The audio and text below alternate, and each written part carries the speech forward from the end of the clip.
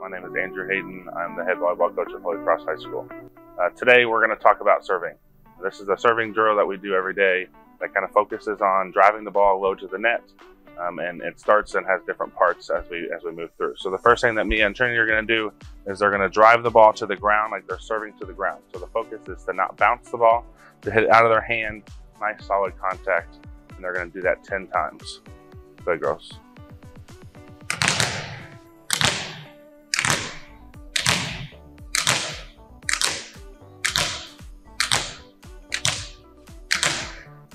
Notice how they're they're not uh, bending their hand over the ball. They're driving the ball to the ground, and then the focus again is not letting the ball bounce. Yep. For the next step of the drill, we're going to focus on serving against the wall. So what the girls are going to do is they're going to focus on nice high toss, focusing on nice and straight up. If it goes too far behind their head, they're going to be able to know. If they toss too far in front, it's going to hit the wall. So they're going to focus on nice, easy toss, stepping with their left foot, and a nice big contact against the wall. Go ahead, girl.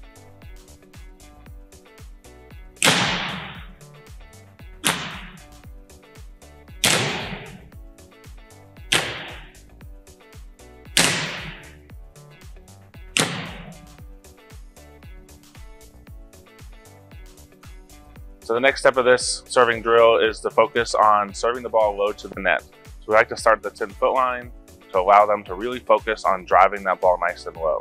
So they're still gonna focus on good hand contact, still focus on the serving mechanics, but they're just a lot closer and driving the ball just as hard. So this ball will go out of bounds, but we want them to focus on keeping it low to the net. And if they hit into the top of the tape, that's perfectly okay.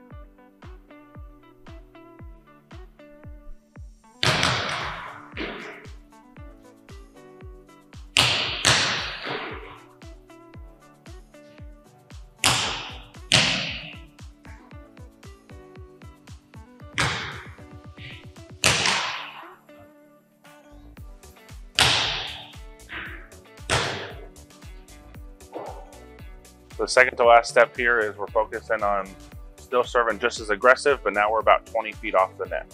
So their focus is still to serve super low to the net. They might still serve it out of bounds, but we really want them to really get close to the net or even tape the net as they serve. So we're gonna do 10 more here.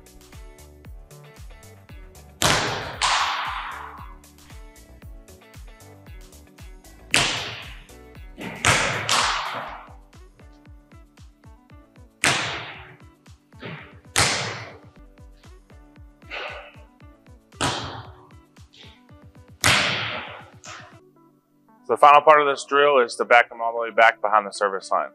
So again, we want to really focus on them driving the ball nice and low to the net. The goal here would be for them to hit the net and for it to go over. So we want that let serve to happen. Go ahead, girls.